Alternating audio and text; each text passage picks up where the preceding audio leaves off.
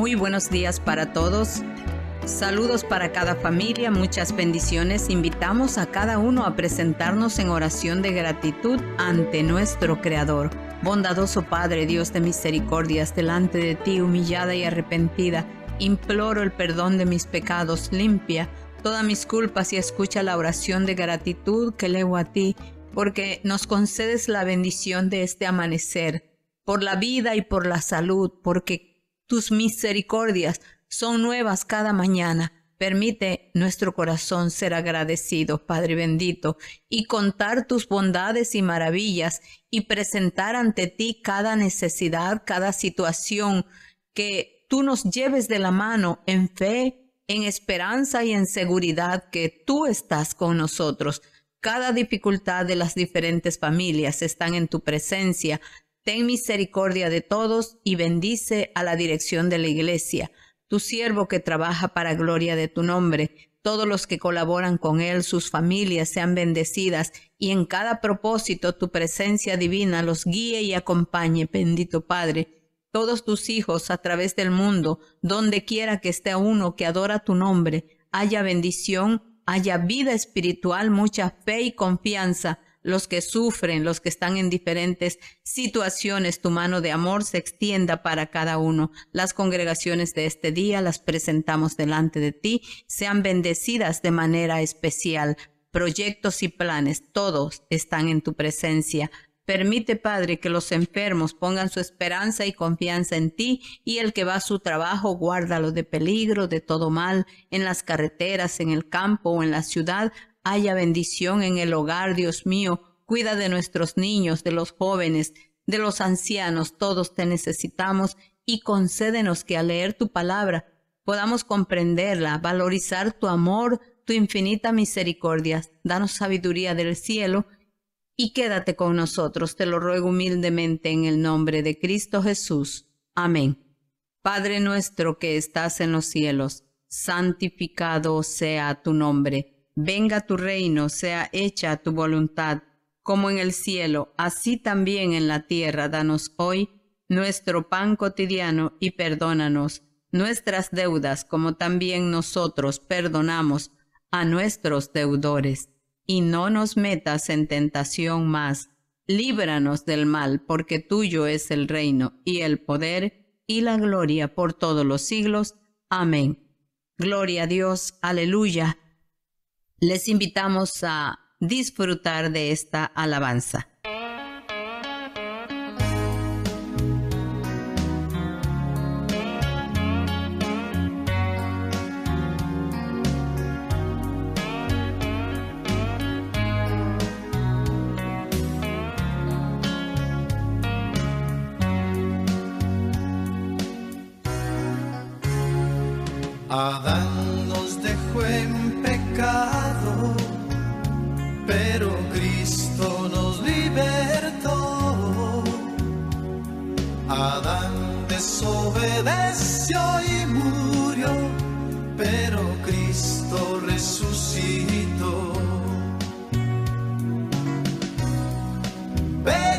Jesús hoy, ve, te salvará.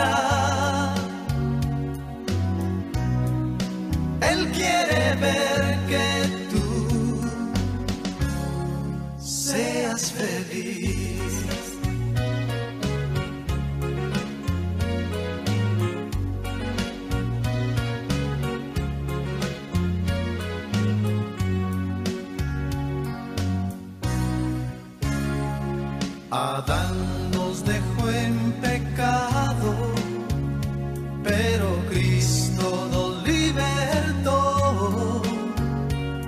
Adán desobedeció y murió, pero Cristo resucitó.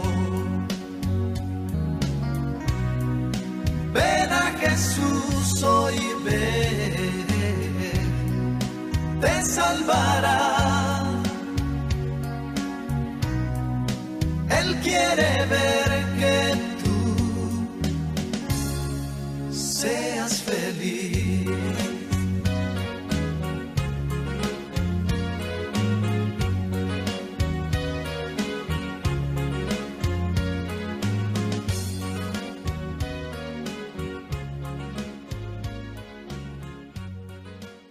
Deseamos la hayan disfrutado y ya compartimos el escrito para este día 31 de mayo.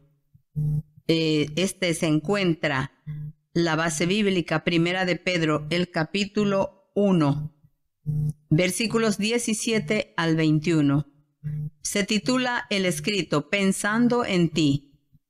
Pensando en ti, puse astros en el cielo, creé los animales, los peces, las plantas, el encanto de las flores y el trinal del ruiseñor. Te puse en un hermoso vergel compartiendo de mi amor. Un día el mal entró al Edén, tuve que sacarte de allí y maldije la tierra pensando en ti. Luego decidí destruirte con un diluvio, pero por un santo hombre te dejé vivir y mi arco iris en las nubes diseñé pensando en ti.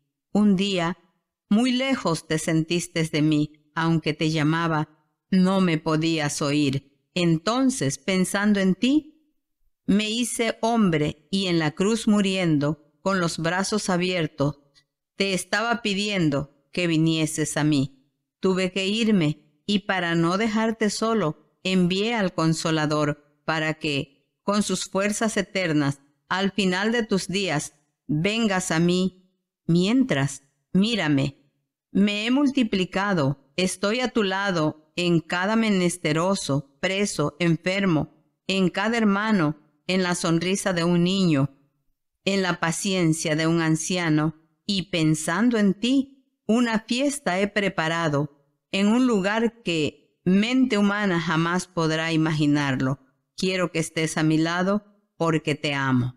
Jesús, escrito por Magbis Verdesia. ¿Qué les parece esta preciosa reflexión que nos hace meditar, profundizar en el grande amor de Dios, en el sacrificio de Jesucristo en la cruz, todo por amor a nosotros, porque de tal manera amó Dios al mundo que dio a su Hijo para que todo aquel que en él crea no se pierda, mas tenga vida eterna. Vamos a leer entonces su bendita palabra. Dice así, y si invocáis por Padre aquel que sin acepción de personas juzga según la obra de cada uno, conversad en temor todo el tiempo de vuestra peregrinación, sabiendo que habéis sido rescatado de vuestra vana conversación, la cual recibisteis de vuestros padres, no con cosas corruptibles como oro o plata, sino con la sangre preciosa de Cristo,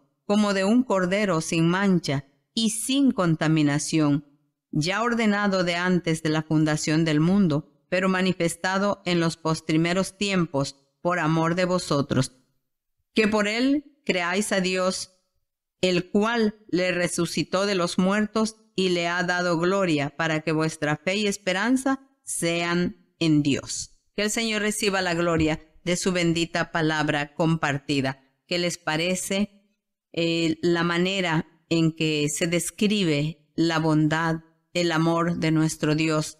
Y habrá un sacrificio mayor que alguien haya hecho.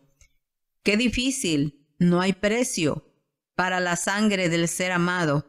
No importa cuánto dinero nos quieran dar, cómo vamos a aceptarlo, pero Jesucristo, sin importar, pagó el precio de cada uno de nosotros, derramando su sangre en la cruz.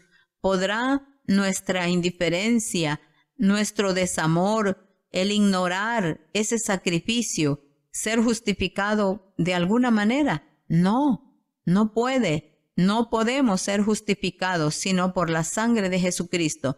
Y como dice su palabra, el que desprecia, el que no valora ese sacrificio, bueno, tiene que recibir el castigo de no haber valorizado tan grande y perfecto amor.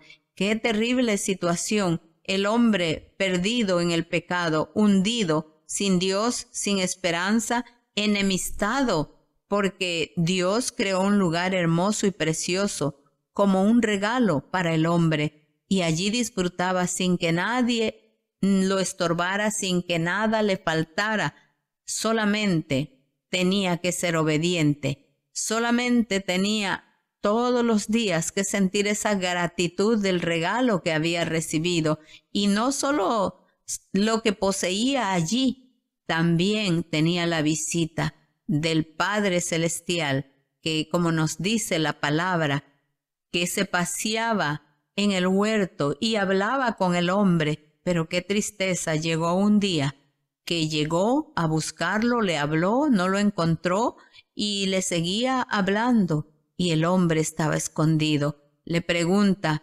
¿Dónde estás? ¿Has comido del árbol que te mandé que no comieses? Y comienza la historia a ser allí narrada la mujer, siempre haciendo toda responsabilidad, el ser humano siempre busca un culpable. No fui yo, fue la mujer que tú mismo me diste. Y bueno, tristemente viene la sentencia. No eran dignos de estar en ese lugar especial, fueron echados, enemistados con Dios, aunque allí mismo el amor de Dios se manifestó porque como dice una alabanza, Dios los vistió, los perdonó y les prometió un Salvador conociendo nuestro Dios que el ser humano es débil, Jesucristo estaba siendo preparado para la redención del pecador y allí a su tiempo es manifestado y llega para salvarnos. Si ya Jesucristo pagó el precio de esa desobediencia y nos amistó por medio de su sangre preciosa, ¿habrá una excusa que nos pueda salvar? cuando ignoramos todo aquel que invoca por Padre a Dios, pero anda en caminos de desobediencia, ¿podrá tener justificación?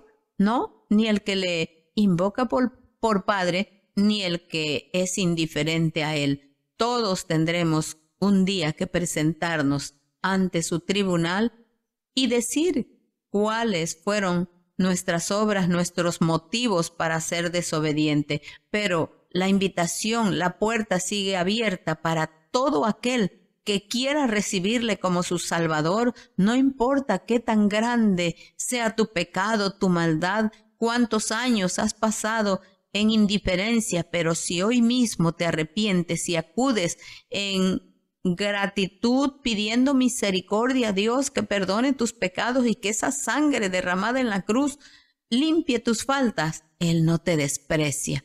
Él te acepta y te adopta como su hijo y será Él quien responderá por ti en aquel día, como dice otra alabanza, cuando eh, es uno pesado en la balanza. ¿Quién?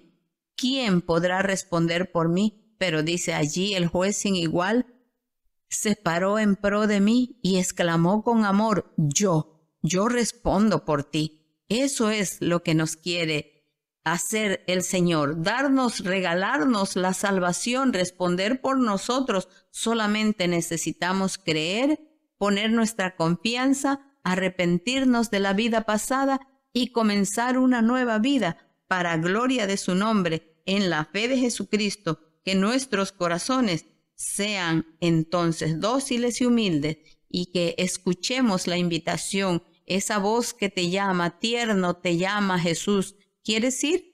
Te está llamando a ti, a ti pecador. Quiere que vengas a Él para que también seas salvo. Dios bendiga a todos y bueno, vamos a compartir la lectura para este día. Salmo número 17 hasta el 19. Deseamos que cada uno disfrute leyendo su bendita palabra y su alma sea vivificada y les dejamos con esta preciosa bendición. Que el amor de Dios, la gracia y la paz de Cristo nuestro Salvador, la compañía y la comunión del Espíritu Santo, que es nuestro eterno consolador, sea con cada uno de sus hijos desde ahora y para siempre. Amén. Su hermana y amiga Rosa Hernández desea para todos un bendecido día con Jesucristo. Hasta mañana, si esa es su divina voluntad.